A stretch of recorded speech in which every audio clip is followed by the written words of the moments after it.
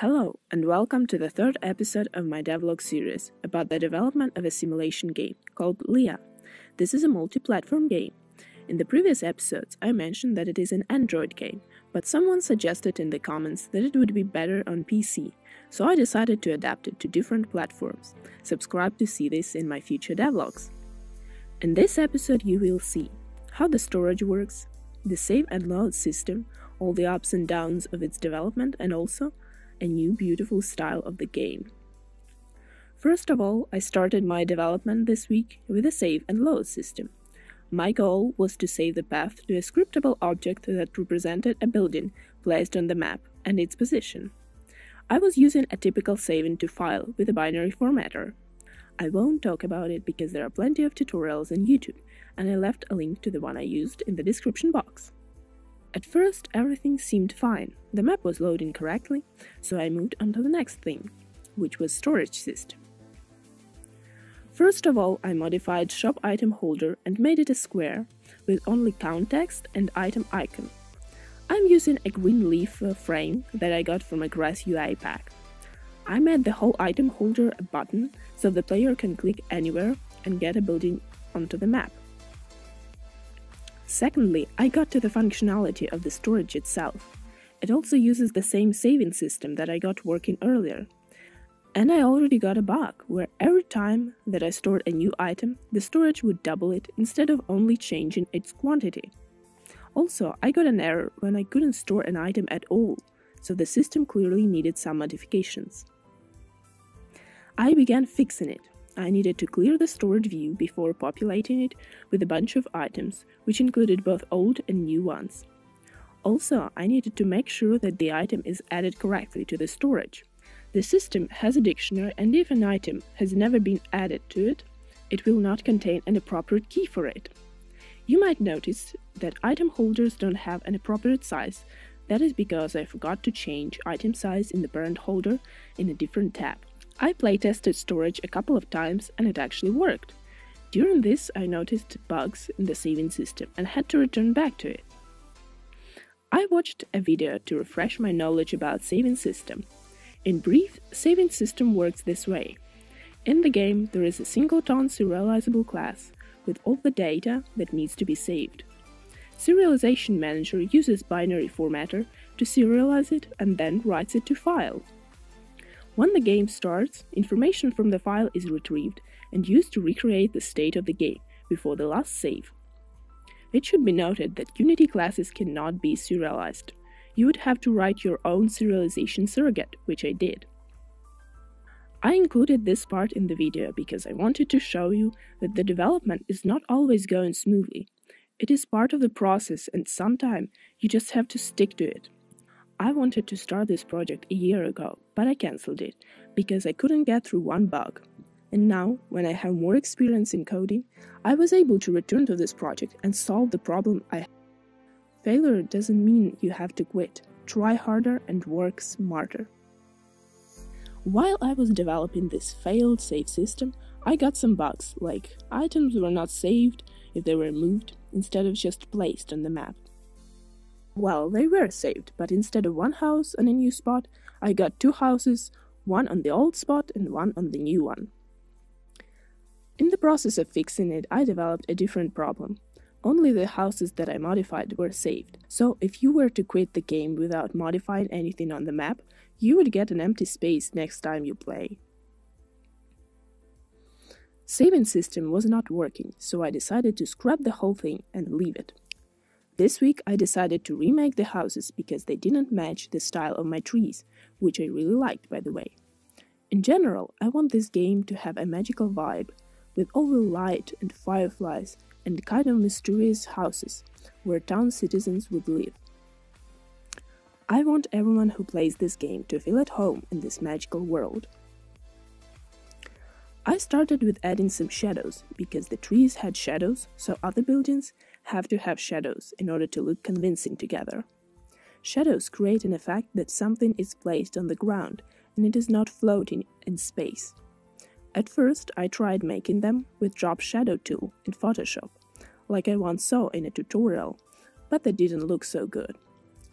So I switched to just regular brush and made a stroke underneath the building.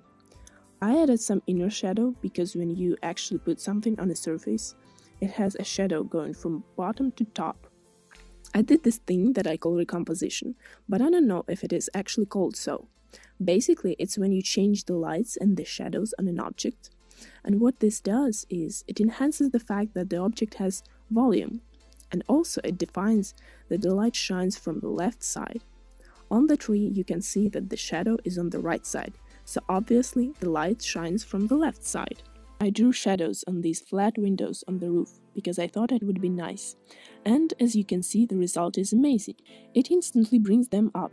I wanted to somehow enhance the texture of the rooftop because it looked really graphic and flat. Instead, I wanted it to be a little bit more natural, so I took this brush that was originally designed to draw skin texture.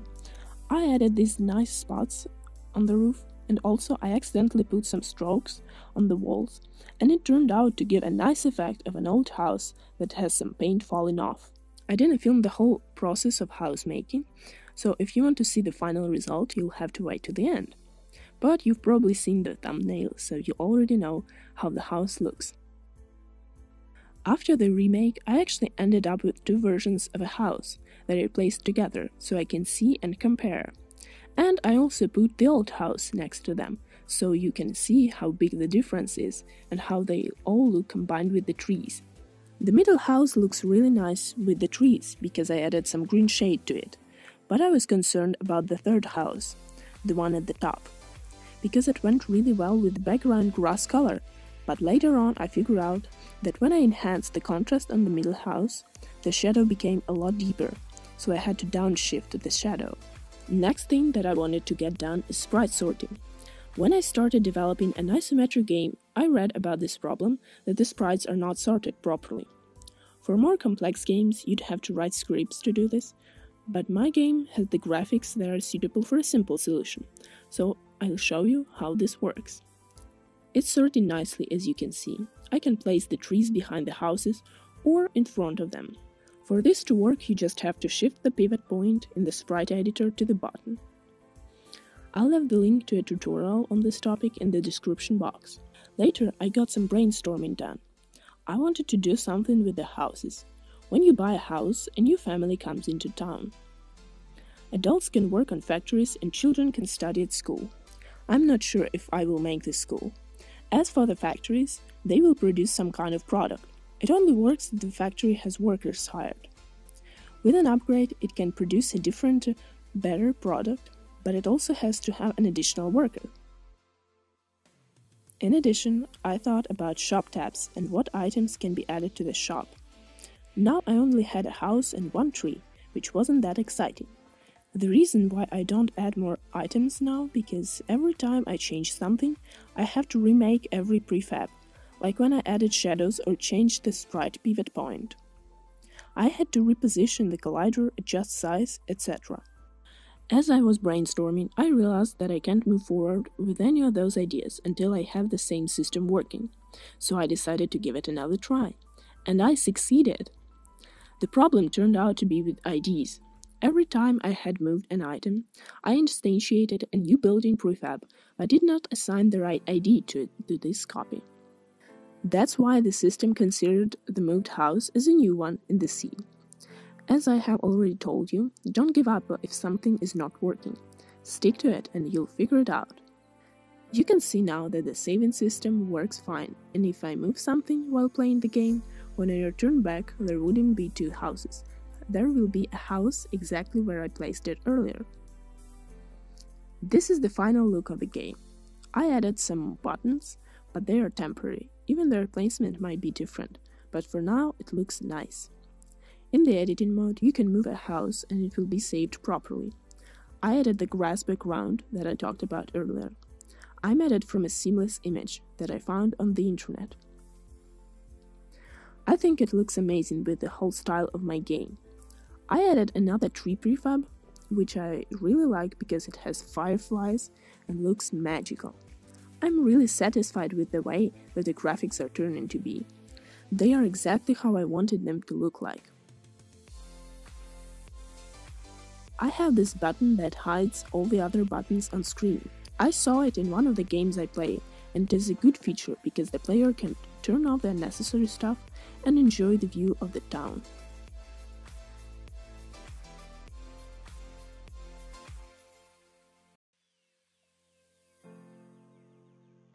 This is it for this video. Thank you for watching and don't forget to give this video a thumbs up if you liked it.